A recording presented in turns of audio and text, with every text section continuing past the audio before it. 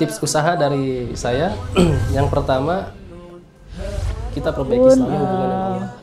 kembali lagi ke Itu tawakal. sebenarnya membuat pesimis hati kita sendiri. Jadi kita harus yang Menurut penting saya tip dalam berusaha adalah yang pertama kita eh, mendasari dengan niat niat yang baik dulu. Eh, seperti yang kita jalani, mah niat kita adalah siar. Eh, sehingga kita harapkan kalau kita sudah dapat eh, akhiratnya, dunianya akan ikut juga gitu. Karena eh, kita percaya akan itu bahwa rezeki kita sudah diatur sehingga eh, tidak ada kompetitor di dalam usaha yang ada adalah eh, mitra.